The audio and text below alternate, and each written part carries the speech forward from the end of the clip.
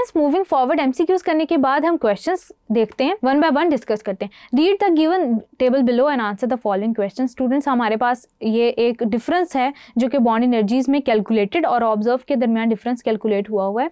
For C L for chlorine and then for iodine hydrogen chloride के लिए और hydrogen iodide के लिए। तो हमारे पास ये डिफरेंस गिवन है। In the case of hydrogen chloride 95 है kilo joule per mole for the case of iodine students 8 kilo joule per mole है।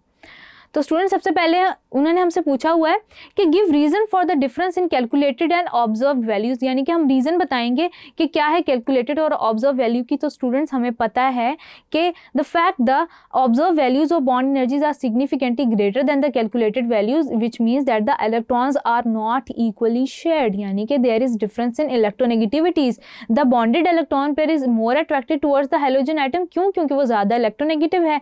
Due to this the halogen end of the molecule becomes becomes negative and the hydrogen end becomes positive. तो इस वजह से observe values में और calculated values में difference है। इसको आप प्रॉपरली ऐसे ही मेंशन करेंगे।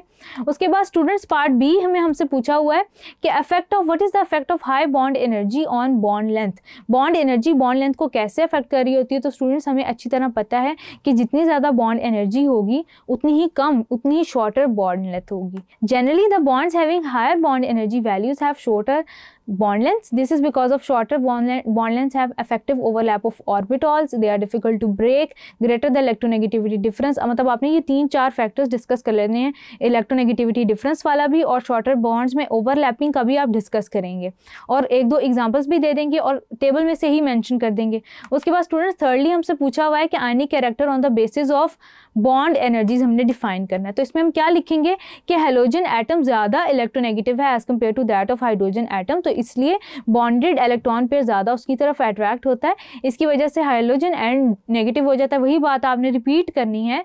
Since electronegativity difference is higher in H C L than in hydrogen iodide इसकी वजह से एच सी एल के अंदर आयनिक करेक्टर ज़्यादा है as compare to that of hydrogen iodide